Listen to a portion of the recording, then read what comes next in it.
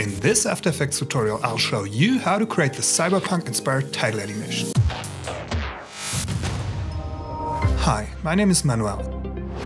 We'll combine a bunch of different standard effects to set up this unique title animation in just a few minutes, so stick around. Alright, let's dive right in. I've already created a comp named text. Now we grab the title tool and actually add some text. I use the font CY Bold, which is an Adobe font.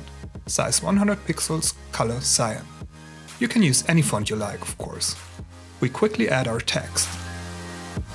Let's align the text to the center and align the solid to the center of the comp using the alignment tool.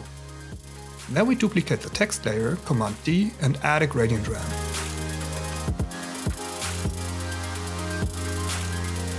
Start color a very bright yellow, end color some kind of gray with a bit of red in it. Then we move the start and end points on the y-axis only. To keep the horizontal line, let's actually darken the end color a bit for more contrast. Alright. To see a bit more of the cyan we used in the first layer, we add a glow. Set the glow radius to around 20%. Let's add more details. We duplicate the text layer once more and delete the gradient effect. Then we swap the fill and stroke here in the character window, pick the white color and set the stroke width to 1 pixel. And duplicate the layer once more and swap back fill and stroke. Now we add a tiny bit of glitch. Let's create a new solid, color doesn't matter in this case, name it turbulent noise and add turbulent noise. Set the fractal type to smeary, contrast to around 290, brightness to around 18, open transform, deactivate uniform scaling and set the scale width to around 2000. Scale height to around 10. Then we hold option while clicking on that little stopwatch next to the evolution to add an expression. We type time asterisk 400, which changes the evolution 400 degrees every second. Awesome. Next we hide the layer and add a displacement map to the top text layer. Choose the top layer as map layer, set the source to effects and masks. We used luminance for horizontal displacement. And set the maximum to 50. Whoa, that's too much. Vertical displacement to 0. Let's use the turbulent noise layer as luma matte for the text layer. Much better. To add another tiny detail, we copy the displacement map effect and paste it to the text 3 layer. And we change the horizontal displacement to minus 3. Let's animate the text. We open the bottom text property and add a tracking animator. Set a keyframe for the tracking amount at the beginning, then go to 47 frames and set it to 30. We select the two keyframes, open the graph editor, make sure the snap icon is activated and edit speed graph is selected. Then move the left point down and the handle as far to the left as possible. Next we move the right point down just close to the zero line, we want it still to move at the end and push the handle as far to the left as possible. Now we need the other layers to do the same. Therefore, we add a tracking animator to the text layer above and then link the tracking amount value to the already animated tracking value.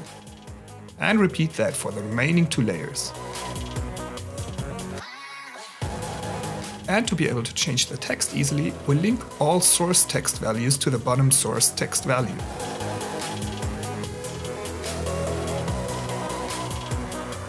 I quickly changed the label color. Now you enter your title only once and magic, it's changed everywhere. Next, we grab the comp in the project window and drag it onto the comp symbol down here to basically pre-comp it. Let's name the new comp title animation. First, we create a mask that reveals the title. Command Y creates new solid, color white. We should name it mask.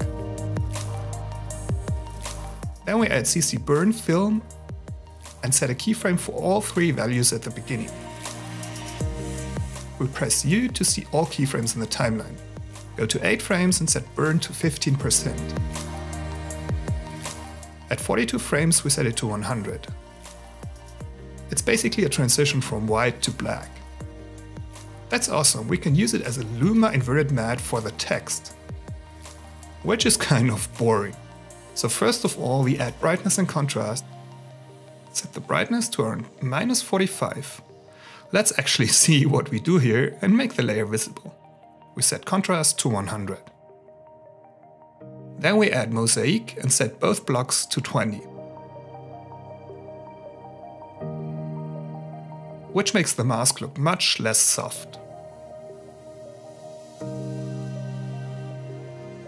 Let's move to 4 frames and set the random seed to 4.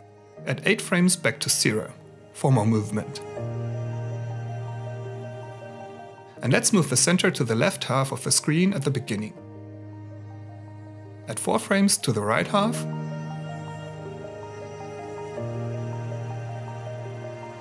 At 8 frames back to the center, which is 960 pixels.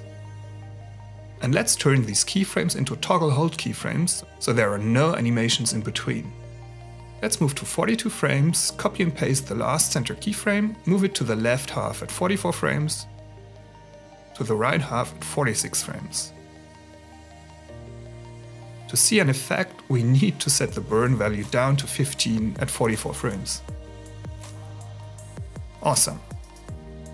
That's the basic intro and outro of the animation. One last thing. As always, let's add more detail. With no layer selected, we double click on the rectangle tool and name the new layer square. No fill, stroke color cyan, width 2 pixels. Then we open the rectangle path, deselect the constraint proportions chain and set the size to 500 by 500 pixels. And add a keyframe. At 2 frames, we change the size to 100 pixels each and set a keyframe for the position. At 4 frames, we move it to the left. At 6 frames, back to the center. And at 8 frames, we set the endpoint of that layer. And we turn all keyframes into toggle hold keyframes, to make it look like jump cuts. Let's add a bit of glitch here too. So we go back into our text comp, copy the turbulent noise layer and paste it into the title animation comp. Then we add a displacement map to the square. Choose turbulent noise as layer, source effects and masks. Use luminance for displacement, horizontal displacement minus 350. Now we're talking. No vertical displacement. Alright, let's add a glow.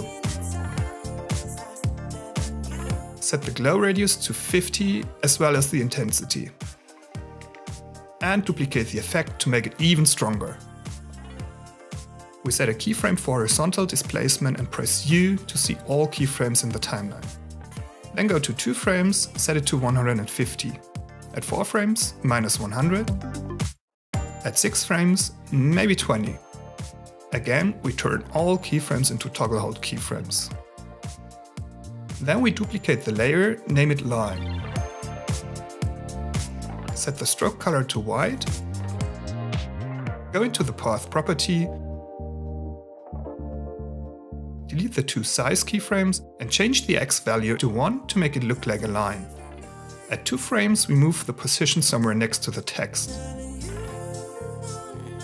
At 4 frames to the right. We change the existing keyframes. At 6 frames a bit to the left.